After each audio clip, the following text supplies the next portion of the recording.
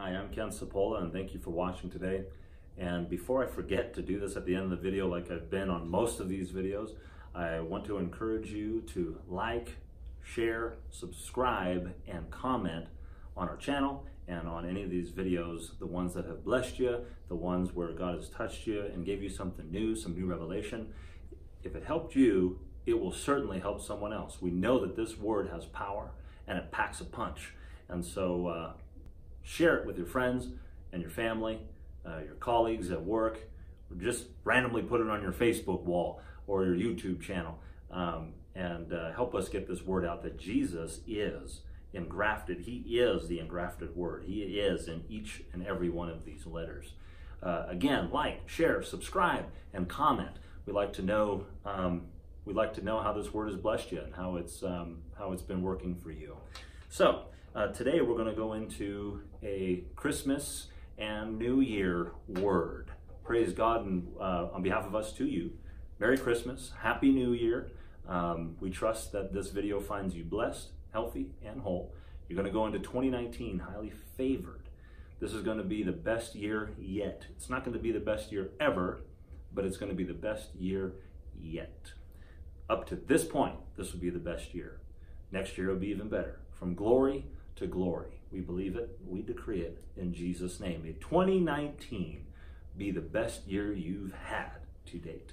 So this message is going to be just on uh, just on Jesus. It's going to be a well. All our messages are going to, are on Jesus, but this one we want to talk about um, Jesus in Christmas, and um, also about New Year, New You.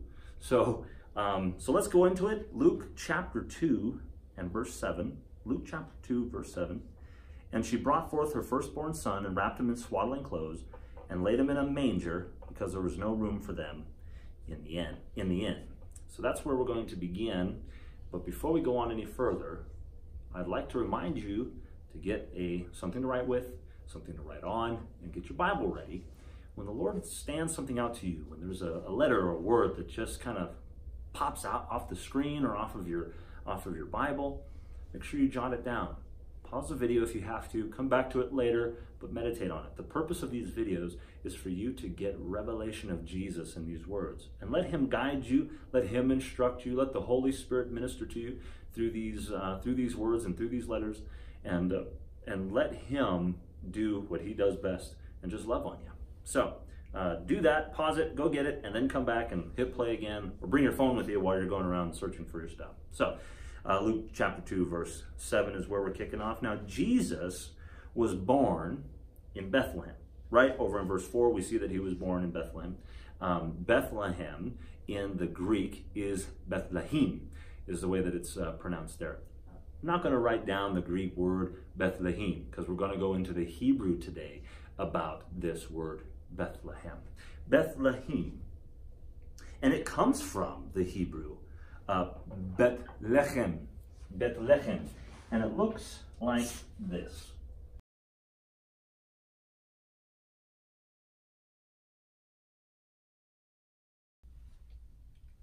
This is the word Bet Lechem or Bet Lechem. And obviously it's a, it's a compound word. These are actually two different words brought together to say, I'll tell you what this means, but um, let, me write it like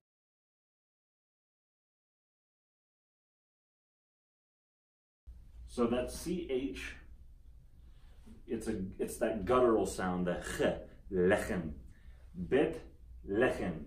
And what this means is house of bread.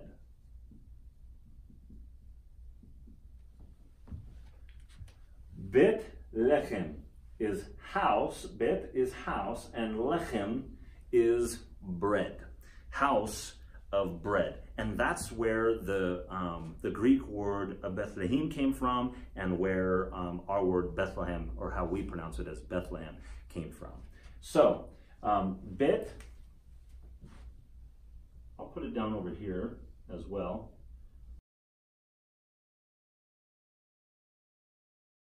So, Beit Lechem, just to break that down so you can kind of see it um, in a different, see it side by side, that Beit is house.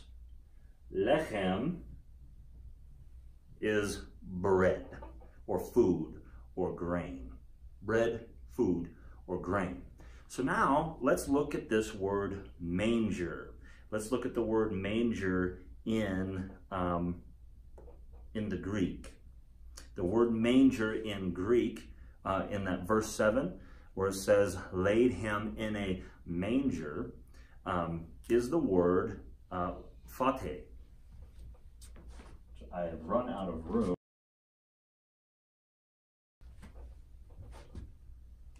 Fate. And what that means is a crib or a manger. Crib, manger. And, and what, where this word fate comes from is the word uh, pateomai. And pateomai, pateomai is where we get the word fate. So I didn't spell it down here, but I'll spell it here. Fate in English and pateomai in English underneath. What that means is to eat, to eat. So Jesus, which is a compound of Yehovah and Yasha, that means our God saves, right? Um, Jehovah saves. Yasha is saves. Uh, Yeshua is um, Jehovah. So, or it's Jehovah Yasha. That's where Yeshua comes from, is Jehovah Yasha. Uh, Jehovah saves. And so Jesus, Jehovah saves, was born in the house of bread and was laying in a manger, which means to eat. So this Christmas, um, you, have already celebrated Christmas. Um, we want to encourage you that this year going forward, that you partake of Jesus more this year. That when you go into the Word, you go in it to receive revelation of Jesus. You go into this year being more determined than ever to know Jesus better than the year before. Better than the year before. Jesus, I want to know you more. Go into this year wanting more of Jesus, more of Jesus. Now watch this. This word lechem, this word lechem comes from the word lachem. And it's spelt the same, but the nikud is um, is different. So this is lamed, chet, and mem. Lamed, chet, and mem. Lechem, or this one's lacham. What this means is to fight or do battle, to make war. Why? Why did bread come from the fighting? Well, because when you knead the dough, it's like fighting. You're putting you're putting in this energy to create the dough. The flour and the water coming together and it turns into a dough and you have to knead it. So you're like pounding it and crushing it. So don't fight your battles without partaking of this bread that was laying in a manger. Eat the bread who was born in the house of bread. Over in John chapter 6, watch this. John chapter 6 and the 48th verse, John chapter 6, verse 48, Jesus said, I am that bread of life. He was talking about manna and how, oh, your fathers did eat of manna that was given from by Moses, but I am the bread of life that was given by the Father. He who eats of me, he who eats of me shall not die. I am the living bread which came down from heaven, he said in verse 51. Jesus is this bread of life. Jesus, the bread of life. So I'm going to put up here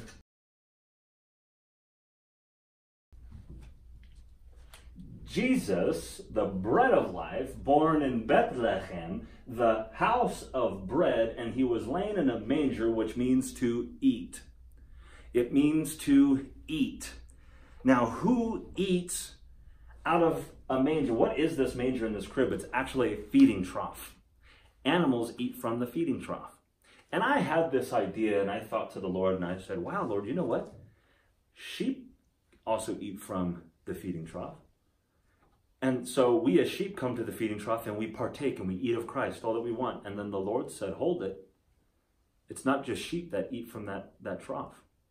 It's all types of animal. It's all types of people. See, sheep, you, you're not a sheep unless you have Jesus as your shepherd. You're not his sheep. So when you have Jesus as your shepherd, you become sheep. You become his sheep. So to say that only sheep eat from this manger means that only those who are saved. But Jesus said, I did not come for the saved. I came for the unsaved. I came for those who need a, need a healer. I came for those who need a savior. So this trough, this feeding trough that God laid his son in is for anyone to come and partake. So whether you know him or don't know him, you can partake of Jesus, this bread of life, no matter what walk of life you are of. Eat and partake of Jesus. Jesus said, Eat of me, eat of me. In fact, he said it down here uh, within the same, um, uh, same sequence of, of verses, but over in verse 53. Except you eat the flesh of the Son of Man and drink his blood, you have no life in you. Whoso eats my flesh and drinks my blood has eternal life, and I will raise him up at the last day. My flesh is meat indeed, and my blood is drink indeed. He that eats my flesh and drinks my blood dwells in me, and I in him. Partake and eat of Christ, and eat all that you want. Take and take more. The problem isn't, okay, so you have people who don't know Jesus. The problem there is that no, they're not eating from him at all.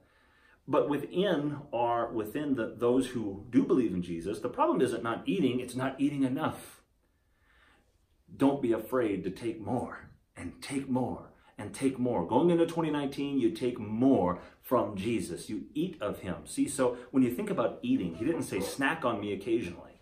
Snack on me when you feel a little peckish. Snack on me when you're feeling a little famished. No, it's a continual eating. You're constantly feeding. This is eating. You have a diet plan of Christ Jesus, his body, and you partake of him. Partake, partake, partake. He is the Word. So this is how we get this done now. How do we feed on Him? How do we eat continuously, continuously of Him? See, for, for, for Christmas, we celebrate Jesus' birth. And so, how do we, why are we celebrating his birth? Because the bread of life was born in the house of bread.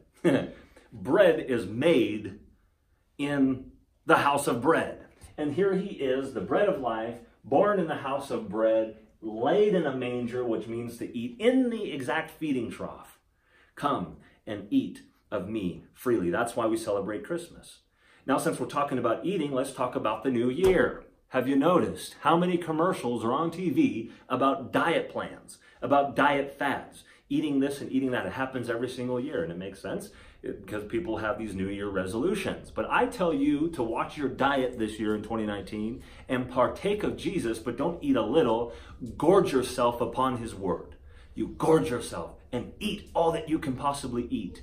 Look at this over in Romans chapter 10, or actually Luke chapter 4, verse 4. We're going to start there. Luke chapter 4, verse 4 it says, in short, I, well, I'm, I'm just giving you the, uh, the, this piece here. Man shall not live by bread alone, but by what? But by every word of God. But by every word of God. That means, now let's go to Romans chapter 10, verse 17, and then I'll tell you what that means.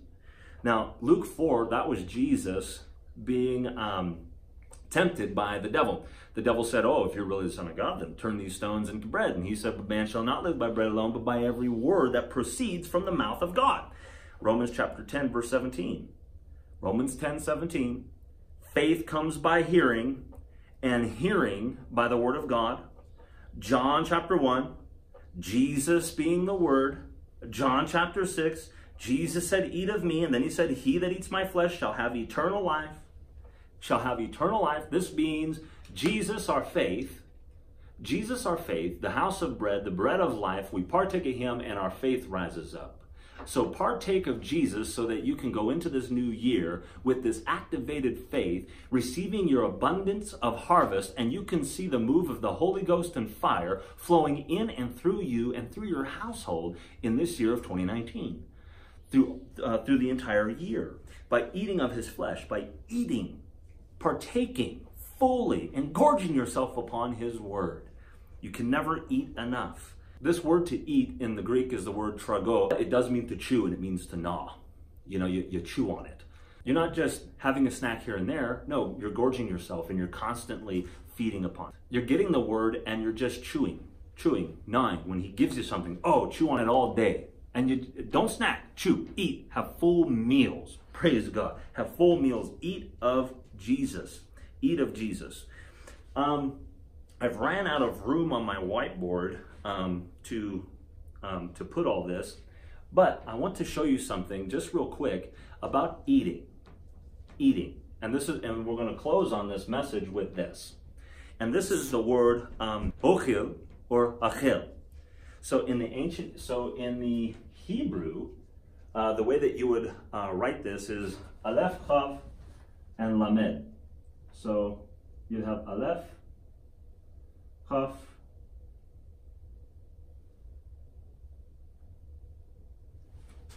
and Lamed. If you can see that down there. Aleph, Kaf, Lamed. Achil. So the nikud there is Achil. And this means to uh, this means to eat, devour, to feed, to burn up.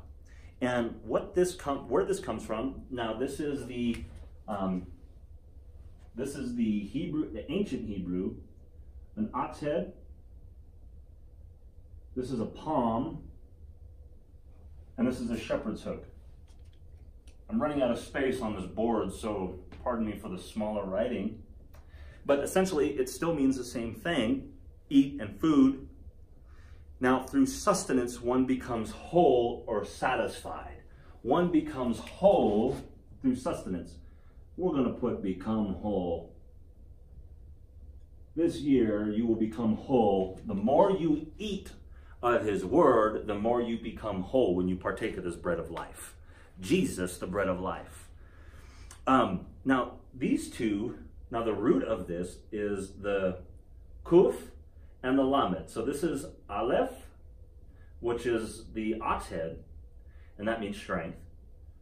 So of course, you know, you're going to have strength the more that you eat. Strength is really the healing, properly um, healing what you need is strength, and you need the strength of God. So to become whole, you need the strength of God. To have the strength of God, you need to partake of Jesus, the bread of life.